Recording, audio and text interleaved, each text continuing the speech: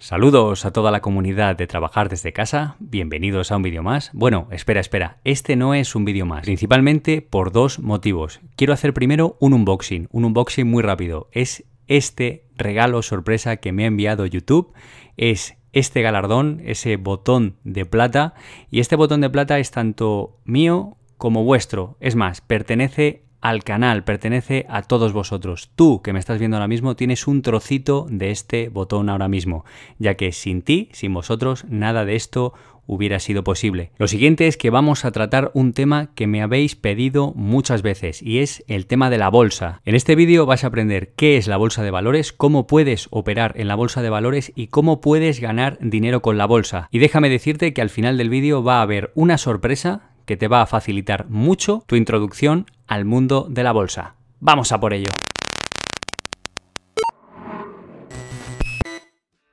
Tenemos que empezar por la pregunta principal, y no es otra que ¿qué es la Bolsa de Valores? La Bolsa de Valores es una institución privada, y remarco lo de privada. En el caso de España, la bolsa española es BME, Bolsas y Mercados Españoles.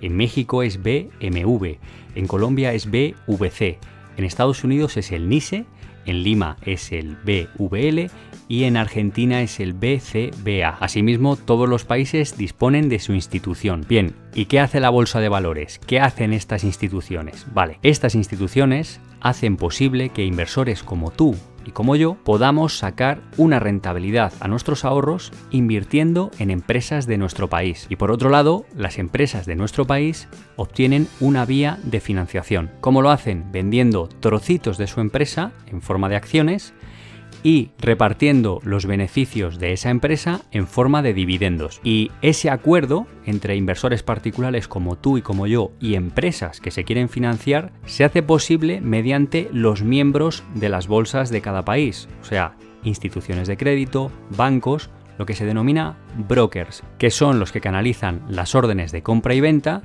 en la bolsa. Luego también existe un cuarto actor en este ecosistema, ¿vale? Que es la policía de la bolsa.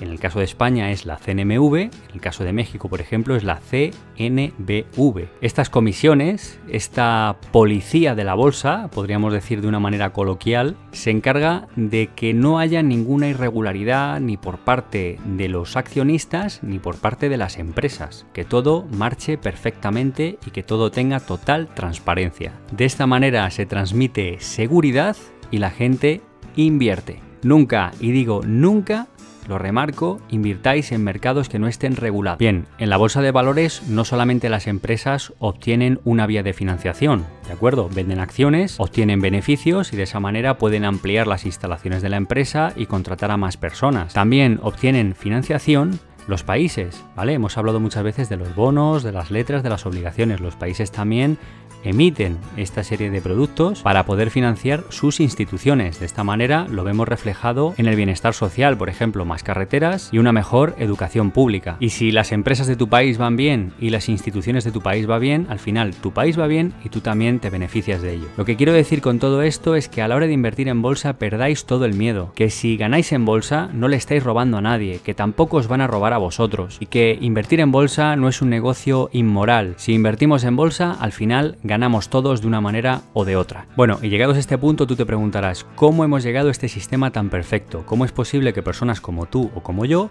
tengamos una participación en empresas tan grandes como Inditex y encima saquemos beneficios? Bien, pues para aclarar esa pregunta tenemos que ver primero los orígenes de la bolsa y eso es lo que vamos a hacer ahora, dar un breve repaso a la historia de la bolsa. Vamos a por ello.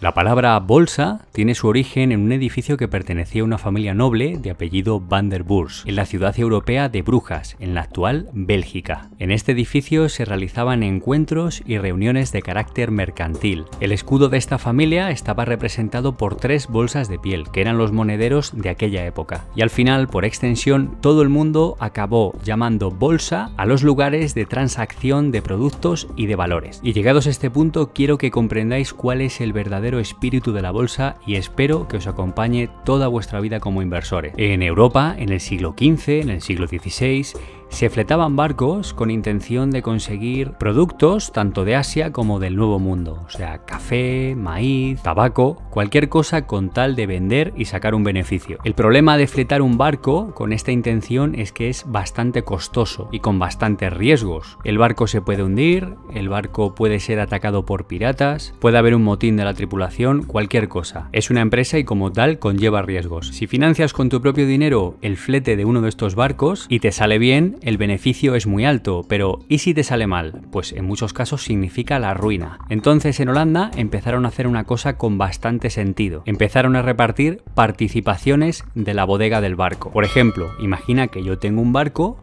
tú tienes un barco y un amigo nuestro tiene un barco. Y dividimos las bodegas de nuestros barcos en tres. De tal manera que yo me quedo una parte de la bodega de mi barco y os vendo las otras dos partes y yo adquiero una parte de la bodega de tu barco y una parte de la bodega de mi amigo. Y vosotros hacéis lo mismo. ¿Qué se consigue con esto? Diversificar el riesgo. Yo creo que por lo menos uno de los tres barcos llegará a puerto y es posible que dos de los barcos también. Y si eso sucede, recupero la inversión y es posible que saque beneficio, ya que muy mal se nos tiene que dar para que los tres barcos se hundan. Lo que quiero que comprendáis con este ejemplo es que la esencia de la bolsa de valores es diversificar el riesgo. La bolsa de valores de Ámsterdam es considerada la más antigua del mundo y fue fundada en 1602 por la Compañía Holandesa de las Indias Orientales, por sus siglas VOC, fue una compañía de gran importancia que pagó un dividendo anual del 18% durante casi 200 años. Y eso, señores, es mucho dinero.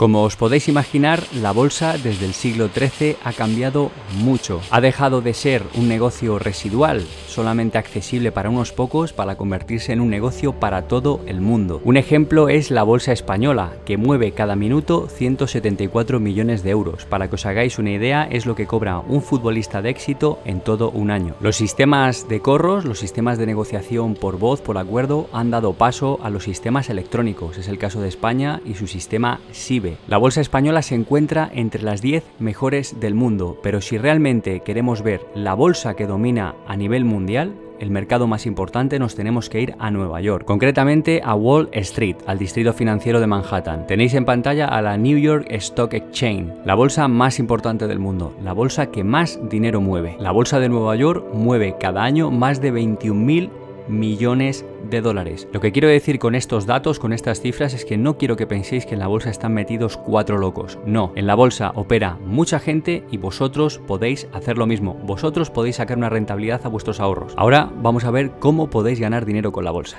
Continuamos. La primera pregunta que quiero dejar clara es qué se negocia en la bolsa. La bolsa es un mercado abierto y se negocian muchos productos. No solo tenemos las acciones, ¿vale? Que son pedacitos de una compañía, los cuales tú puedes adquirir y obtener derechos sobre esa compañía y también beneficios. También se negocia renta fija. Aquí hemos hablado muchas veces sobre los bonos. Las empresas y los estados se financian de esta manera. Divisas, todos sabemos que las monedas están en constante cambio, suben y bajan y tú te puedes aprovechar de esas subidas y de esas bajadas. Índices, todos los países tienen empresas importantes y esas empresas importantes conforman un índice. Vale, pues tú puedes invertir directamente en ese índice. Y por supuesto, materias primas, puedes invertir por por ejemplo en petróleo, en algodón, en cacao, etcétera, en un sinfín de materias primas. La siguiente pregunta, y la más lógica, es cómo se invierte en bolsa, qué maneras tienes de invertir en este tipo de productos. La principal, la que se te puede venir a la mente, es contado. Quieres unas acciones, y compras esas acciones. Punto. También puedes invertir mediante un fondo de inversión. Yo, por ejemplo, quiero invertir en México. Pues seguro que hay un fondo de inversión especializado en empresas mexicanas. Otra opción son los derivados. Los derivados, entre otros, podemos encontrar con opciones, futuros, CFDs, swaps, hay muchos derivados y esta es una forma también de invertir en este tipo de productos. Y la siguiente pregunta, la más lógica, es ¿cómo puedo ganar dinero en bolsa? La principal forma de ganar dinero en bolsa es por diferencias. Esto es muy sencillo. Yo compro unas acciones a 5 dólares y mañana esas acciones suben a 10, pues he ganado 5, que es la diferencia entre 10 menos 5. También existe otra forma que es mediante dividendo. Si yo tengo las acciones de una compañía y esta obtiene beneficios, se reparte todos los años un dividendo a los accionistas. Este dividendo varía. Ya sabéis qué se negocia en bolsa, cómo puedo invertir en bolsa y cómo puedo ganar dinero en bolsa. Pero ahora la pregunta más importante es, ¿cómo puedo seleccionar empresas que me generen beneficios? Y eso es justo lo que vamos a ver ahora. Continuamos. Cuando estamos decididos a invertir en bolsa, siempre nos surge una duda y es, ¿estoy eligiendo la empresa correcta o el subyacente correcto? ¿Cómo puedo saber si va a subir o va a bajar? Bien, para este cometido podemos recurrir a las dos técnicas de análisis más importantes, que son el análisis fundamental y el análisis técnico. Con el análisis fundamental analizamos estados financieros periódicos, técnicas de evaluación de empresas, previsiones económicas, información económica general y cualquier tipo de información adicional que afecte al valor de las acciones. Básicamente es que nos metemos en las tripas de la empresa y con una serie de herramientas, por ejemplo ratios como el PER, que ya hemos visto en trabajar desde casa, entre otros, analizamos cómo está la empresa por dentro. Y si detectamos que la empresa tiene más valor del que cotiza, o sea, la empresa está infravalorada, compramos las acciones de dicha empresa. El otro sistema de análisis es el análisis técnico y para eso quiero que mires este gráfico. Quiero que lo mires atentamente y quiero que me digas si entiendes algo. Es posible que muchos de vosotros lo miréis, no entendáis nada y es más, os eche para atrás a la hora de invertir en bolsa. Vale, ahora quiero que mires este otro gráfico. Este gráfico seguro que te suena mucho más, ¿no? Y nunca mejor dicho. Posiblemente no lo sabes interpretar, como yo. Yo no tengo mucha idea de música, pero soy consciente que cuando una persona sabe interpretar esta partitura, toca melodías maravillosas. Seguro que conoces a alguien cercano que sabe interpretar una partitura y seguro que no es más listo que tú, simplemente es práctica. Lo que quiero que entiendas es que tú, el día de mañana, a base de práctica, sabrás interpretar esta partitura que está en pantalla, este gráfico, y podrás tocar la melodía del dinero, y es una melodía que suena muy bien. El análisis técnico se basa principalmente en acumulación de precios, fórmulas matemáticas, medias móviles, etc. No os preocupéis que todo eso lo hacen los gráficos de manera automática y no tiene en cuenta las tripas de la empresa, los balances de cuentas, simplemente el gráfico. Hay mercados, como por ejemplo el mercado Forex, a los cuales es difícil hacer un análisis fundamental y funciona muy bien el análisis técnico. Hay personas que solamente utilizan el análisis fundamental y no quieren ver un gráfico y hay personas que utilizan solamente el análisis técnico y no quieren saber nada de fundamental. Yo apuesto por un sistema híbrido, mezclar los dos, el sistema fundamental y el análisis técnico. Y creedme si os digo que cuando combinamos los dos sistemas, los dos tipos de análisis, tenemos muchas más probabilidades de éxito. De todas formas, en futuros vídeos hablaremos tanto del análisis técnico como del análisis fundamental, ¿vale? Y después de todo esto, tú te preguntarás, vale, ¿y ahora cómo puedo comprar una acción? ¿Cómo puedo hacerlo? Vale, eso es lo que vamos a ver en el siguiente punto. Vamos. Este documento que veis en pantalla es una acción, una acción en papel físico.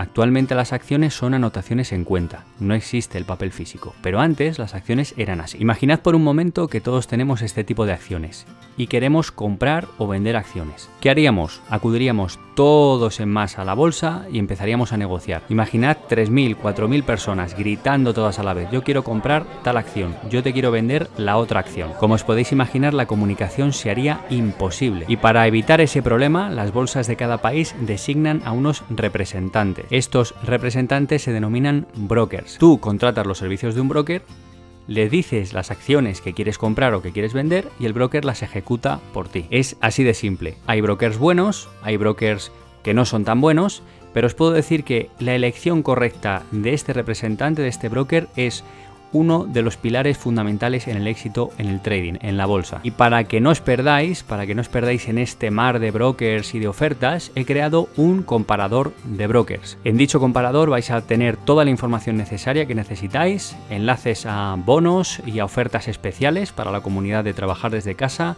junto con un análisis con nota para que tengáis la información necesaria de qué broker es el que más se ajusta a vuestras necesidades. Dejo el enlace al final del vídeo, en la esquina superior derecha. Los brokers que he seleccionado tienen una cosa muy buena y es el apalancamiento, no sé si lo recordáis, que podéis mover con menos dinero más dinero. Algunos brokers tienen un apalancamiento realmente interesante, por ejemplo 1-300. Esto quiere decir que con 100 euros puedes mover 30.000 euros. De esta manera se acerca el mundo de la bolsa y el mundo de las inversiones a todo tipo de bolsillos. Pero la principal característica, la que a mí más me gusta, son las cuentas demo ilimitadas. Una cuenta demo puedes operar en el mercado con dinero ficticio, puede ser 10.000, puede ser 100.000, lo que tú quieras, ese dinero se repone si lo acabas y puedes operar en cualquier tipo de activo en tiempo real. De esta manera, al principio, cuando tenéis pocos conocimientos, no ponéis vuestro dinero real en riesgo, solamente es un dinero ficticio y vais día a día, paso a paso. El enlace a este comparador de brokers lo voy a poner al final del vídeo, justo en la esquina superior derecha. Y llegados a este punto os voy a mandar unos ejercicios, ¿vale? Porque si has llegado hasta aquí es que te gusta mucho la bolsa, ¿vale? El primer ejercicio es que acudas a ese comparador de brokers y que te des de alta en uno, en dos, en tres brokers, en los brokers que a ti más te gustan y que te transmitan mejores sensaciones. En segundo lugar, quiero que te abras una cuenta demo en ese broker, ¿de acuerdo?